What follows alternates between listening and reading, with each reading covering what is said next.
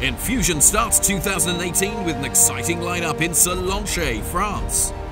With the first qualifying round to take place to secure the winner's position in the Enfusion 100,000 Euro Grand Prix last eight tournament at the end of the year in Abu Dhabi.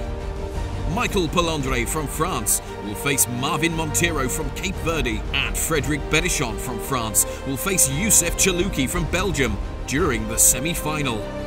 Which fighters will face one another in the final and secure their place? Antonin Marconi will take on Rashid Magma Magmadi.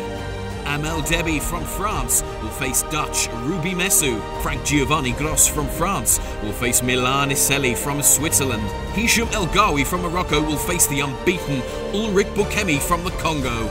Join Enfusion Sallanches